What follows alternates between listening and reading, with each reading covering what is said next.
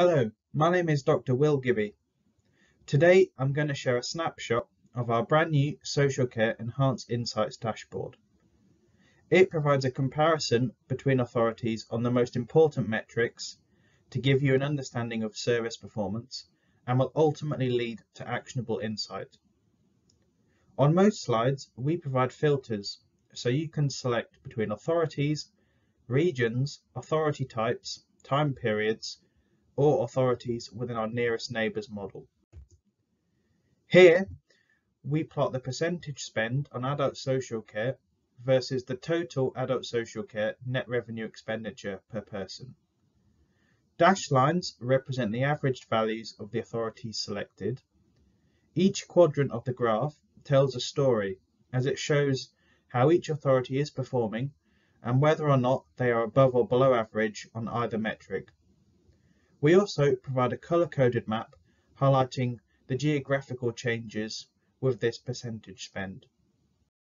Here, we break down the net revenue expenditure into support types and show the values in pounds per thousand people, such that differences in population size are accounted for. The three maps at the top of the page show support types, long-term, short-term and other, and at the bottom you will see a chart of these exact values.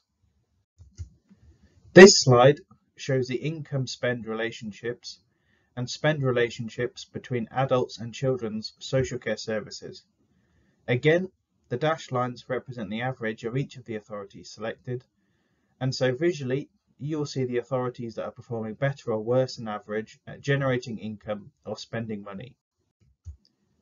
Here we show the breakdown of the single largest service expenditure and show this either via the map or the pie chart on the right hand side.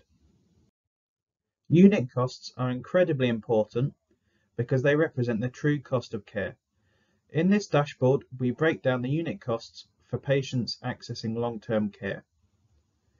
In this slide, we show the unit costs for patients accessing long-term residential, nursing or combined services we also highlight the differences between the latest and the previous year, and at the bottom show the exact values in a graphical form. Here, we break down the unit costs for patients accessing external or in-house long-term residential services. Again, we highlight the differences between the latest and the previous year, and at the bottom provide the exact values in a graphical form. Thanks for watching. If you have any further questions or would like to book a demo, please contact lee.schofield at cipfa.org. Thank you.